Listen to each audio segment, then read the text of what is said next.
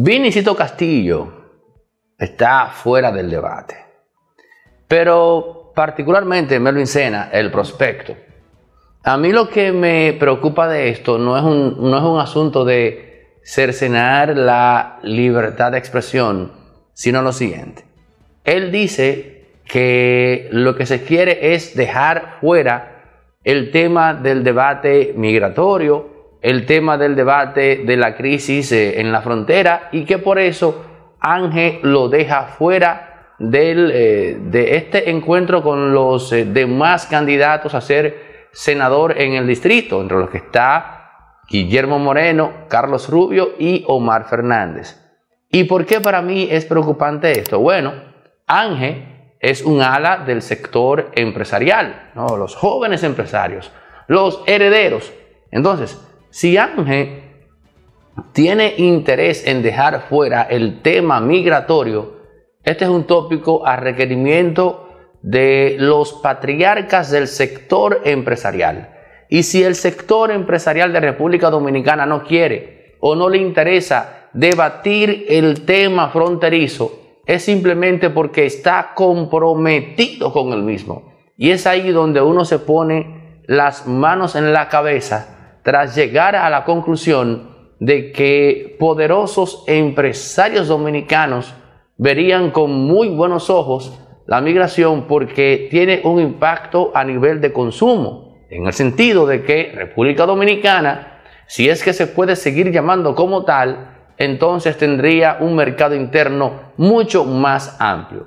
Si a Vinicito lo sacaron del debate, porque no se quería tocar el tema migratorio. Aquí lo preocupante es que Ángel, que es representante directo del sector empresarial, lo que pone de manifiesto es que los intereses de ese sector empresarial van en la línea de incrementar el mercado interno dominicano, no sobre la base de aumentar la tasa de natalidad del dominicano, sino simplemente de abrir las fronteras. Melvin Sena, el prospecto. Adelante. Gracias, Neudi, de nuevo por la oportunidad. ¿Qué te digo? Para mí, para mí, lo que refleja Ángel con esta postura de ser cierta es que nosotros los dominicanos tenemos el enemigo dentro. O sea, los enemigos de la República Dominicana son esos mismos sectores poderosos que no ven como peligro que la República Dominicana pudiera padecer o desaparecer por una migración descontrolada de los vecinos, de los hermanos de aquel lado. ¿Por qué? Porque ellos solamente ven el símbolo de dinero con esta, emigración de, de los vecinos. ¿Qué sucede? Si ellos solamente ven dinero y no le importa lo que pudiera ser o lo que pudiera pasar en la República Dominicana con una fusión comercial, que es lo que básicamente están buscando, ellos no ven en, esa función comercial los peligros y los riesgos que pudiéramos nosotros a, tener como nación. A ellos no, se les importa o no le importa si la República Dominicana llega a ser un estado fallido igual que el estado fallido que comparte la isla. A ellos lo que les importa es hacer dinero y una vez poder hacerse, hacer dinero, ellos no van a vivir en la República Dominicana, ellos van a coger a su familia, se van a ir a diferentes países donde exista ciertos niveles de estabilidad y ellos van a mirar desde la grada el desastre provocado por ellos mismos aquí. Ahora yo voy a introducir un, un, aspecto dentro de esto que amerita que la gente opine en la cajita de comentarios inmediatamente debajo de la descripción de este video. Si sacaron a un candidato del debate, si le dijeron a Vinicito Castillo, no se vista que usted no va, no es prudente que por solidaridad los demás, candidatos digan, no, yo no voy. Sería lo, Carlos Rubio, Omar Fernández, Guillermo Moreno, todos a una, y que planteen, si no está el candidato X, no podemos asistir. Háblame de eso. Bueno, sería lo prudente, sería un reflejo de una democracia madura y eh, el gesto de solidaridad que pudieran tener los demás candidatos con el señor Castillo. Creo que sería lo prudente si un candidato X no puede ser escuchado porque afecta los intereses de un grupo comercial X. Entonces, eventualmente, cuando mis posturas comiencen a afectar a ese grupo de comerciantes, entonces ustedes también me van a censurar a mí. Si, si ellos hacen ese ejercicio de entender lo que le están haciendo a un candidato, entonces en el futuro también se lo van a practicar a ellos. Y en solidaridad lo más lógico sería que ninguno participara en el debate. Yo creo que esa postura pudiera venir de Carlos Rubio, incluso hasta del mismo Omar. No creo que Guillermo tenga las gónadas para hacer eso.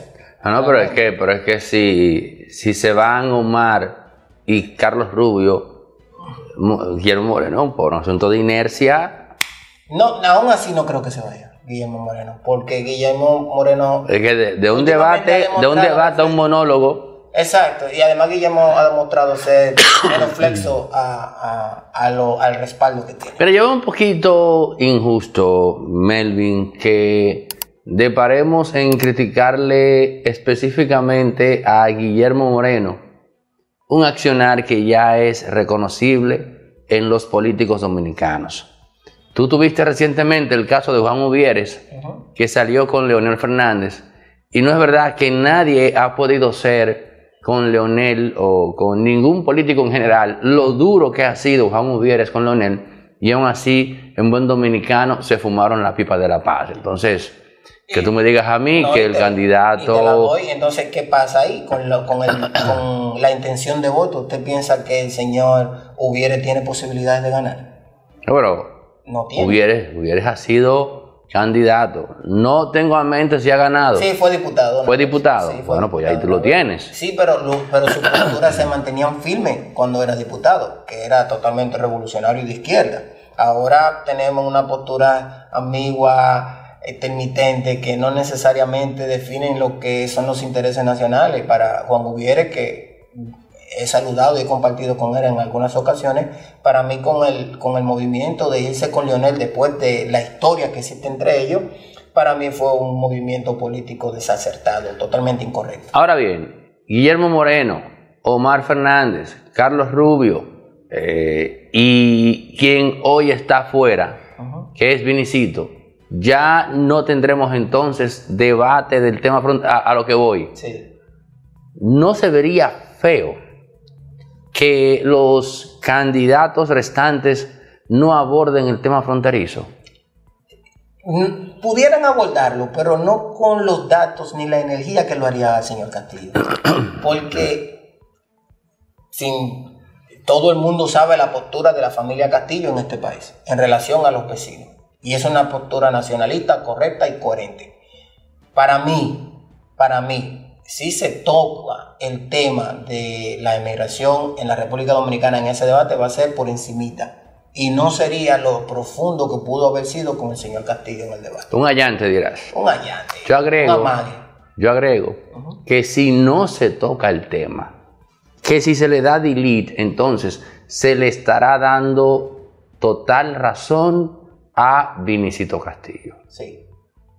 Señores, gracias por llegar a la parte final de esta conversación. De paso nos dejan su opinión sobre el prospecto Melvin Sena en pie para el próximo. Gracias. Resorte Media es también productora audiovisual y aquí tenemos espacios eh, rentables para producir contenido pero también si tu empresa tiene una actividad fuera y va a hacer una transmisión en tiempo real, puedes contar con Resorte Media. También si necesitas alquilar equipos para filmaciones de películas o eventos, tenemos grúas de 40, 20 pies. En fin, otra cosa, artista independiente que tiene que hacer un videoclip en calidad 8K 6K eh, con imágenes eh, de stock, bueno, pues lo podemos hacer acá en circuito cerrado con los presupuestos más competitivos. Pero si también eh, requieres asesoría para la producción de contenidos en plataformas como YouTube, también puedes contar con nosotros. Resorte Media, todo lo que necesitas en todos los ámbitos cuando se trata de producción audiovisual. 829-741-3061.